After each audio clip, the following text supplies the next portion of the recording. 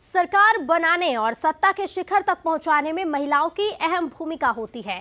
पार्टियाँ भी ये बात समझती हैं और यही वजह है कि बीजेपी हो या कांग्रेस, दोनों ही दल आधी आबादी को साधने की कवायद में जुटे हैं। लेकिन जब बात महिलाओं को प्रतिनिधित्व देने की आती है तो पार्टियाँ हाथ खींचती नज़र आती हैं। अब देखना होगा कि महिला आरक्षण बिल का समर्थन करने वाली पार्टियाँ इस बार कितनी महिलाओं को टिकट देती हैं। मध्य प्रदेश में बम्पर जीत दिलाने वाली आधी आबादी को महिला आरक्षण बिल के बाद 33 फ़ीसदी टिकट की उम्मीद है। अब तक के चुनावों में किसी भी पार्टी ने 15 से 20 फ़ीसदी से ज़्यादा टिकट महिलाओं को नहीं दी पिछले लोकसभा चुनाव की बात करें तो बीजेपी ने चार और कांग्रेस ने पाँच महिलाओं को मैदान में उतारा था। विधानसभा चुनावों में भी सूरत हाल कुछ ऐसा ही रहा। आधी आबादी मिलेगा पूरा हक।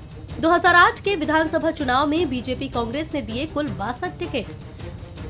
2013 के विधानसभा चुनाव में बीजेपी कांग्रेस ने दिए कुल इक्यावन टिकट।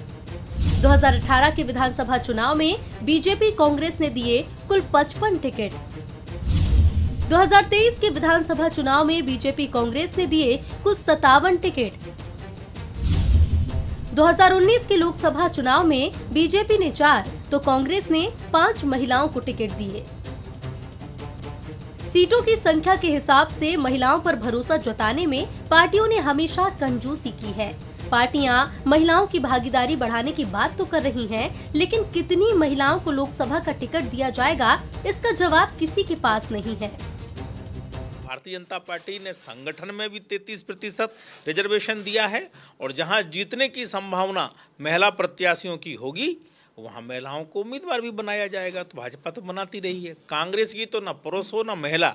जीतने की कोई संभावना दूर तलक नहीं है इसलिए वो केवल ठगने का काम कर रहे हैं। बिल्कुल मिलना चाहिए उतारना चाहिए।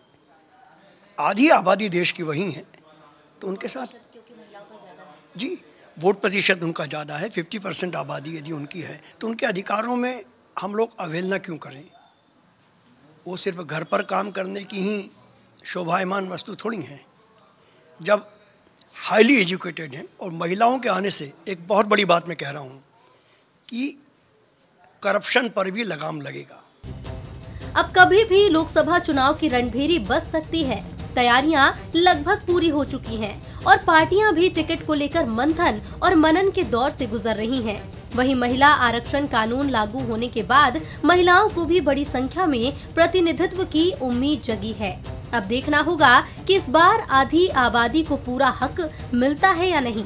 ब्यूरो रिपोर्ट के साथ रंजना दुबे, बंसल न्यूज़, भोपाल। मध्य प्रदेश, कांग्रेस में टिकट